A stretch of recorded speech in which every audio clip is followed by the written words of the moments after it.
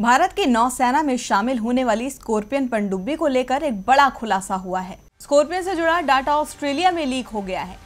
पनडुब्बी से जुड़े करीब बाईस हज़ार पेजों का दस्तावेज़ सामने आने से नौसेना में खलबली मची हुई है।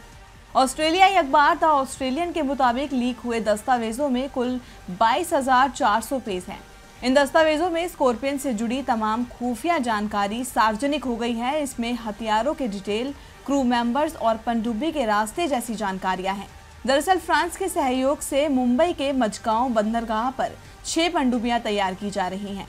इन्हें अभी तक नौसेना में शामिल नहीं किया गया है। ये मामला पीएमओ तक जहाँ पहुँचा है। रक्षा मंत्री मनोहर पर्रिकर ने इस मामले पर नेवी चीफ से रिपोर्ट मांगी है। पर्रिकर ने कहा है कि यह पता लगाया जा रहा है कि आखिर किस तरह का डाटा लीक हुआ है। फ्रांस ने भी इस मामले की जाँच के आदेश दिए हैं। उधर कांग्रेस नेता अभिषेक मनु सिंघवी ने कहा है कि एक गंभीर मामला है।